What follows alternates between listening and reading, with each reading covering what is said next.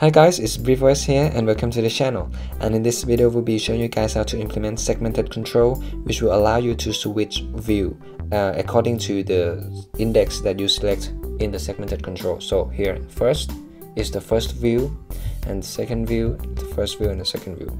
And that's it, I'm just gonna start now. Xcode, new project, single view application.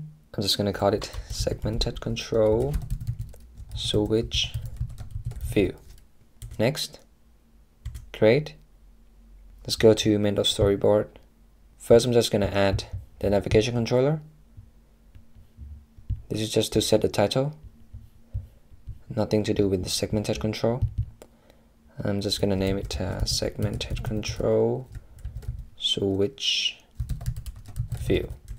Next, let's uh, add a segmented control here. Next, let's search for UI view right there. Here you go.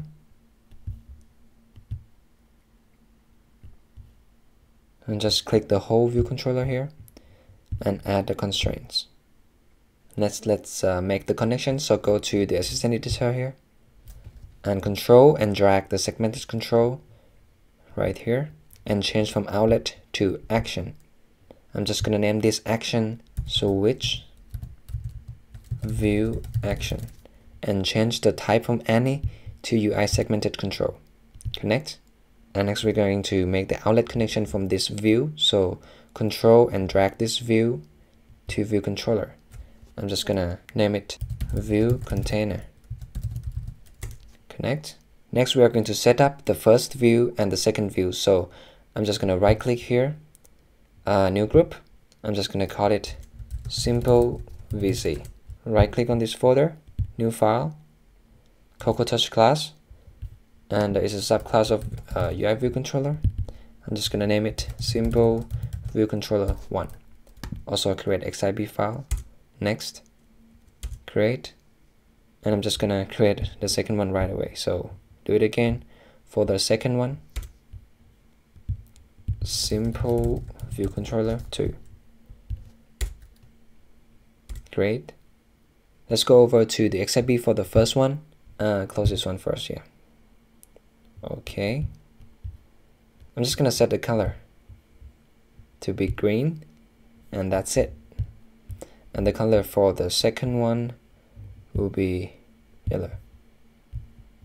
Okay, I'm gonna save the XIB file and also here and that's it, we're done with our simple view controller here. Let's go back to view controller. So we are going to add two of our view controllers. So we're going to create attributes called simple view 1, which is type view, not view controller. Be careful, okay? And this one is the second one. And then we are just going to initialize it here. So simple view 1 will be equal to simple vc1 we're going to create the object and just get the view out of it. So that's it. We're going to do the same for the second one. Okay. And then we're just going to add these two view to our view container. So here view container dot add subview simple view 2 I'm just going to do it for the first one as well. Right here Next, let's implement uh, the switch view action here. So I'm just gonna make the switch case. So switch here. So the parameter here is the sender dot selected segment index. So if it's the first one, which is index zero, then we are just gonna bring up the first one. So view container dot bring subview, and we are going to bring simple view, the first one, and then just exit the case here and just copy and do the same for the second one. So case one just gonna bring up the second view. And that's it. Let's see. Here we go. So the first one is the green one and the second one is yellow. So it's just really perfectly working here. All right but I would like to improve our application here because you can see there's uh, two more attributes and you know you just like flood up the memory. So I'm just gonna create just one array. So I'm just gonna co um, comment these two.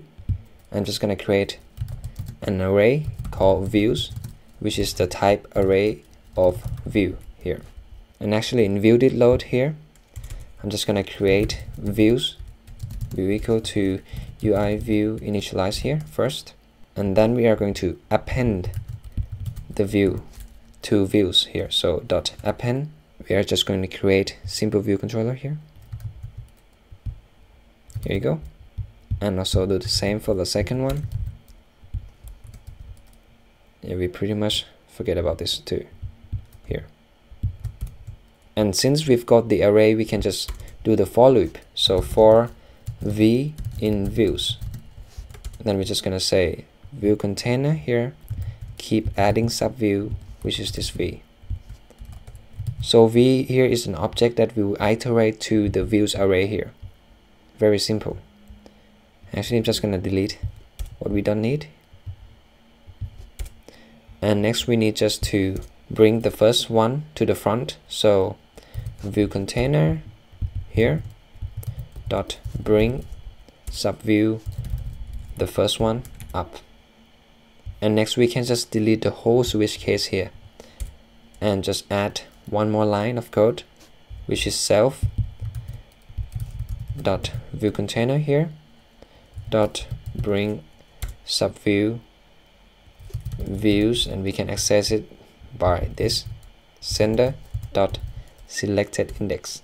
Actually I forgot s here alright and that's it. I'm just gonna run the application. And that's it. I think everything works the same except the code I think it looks a lot better than the last one yeah?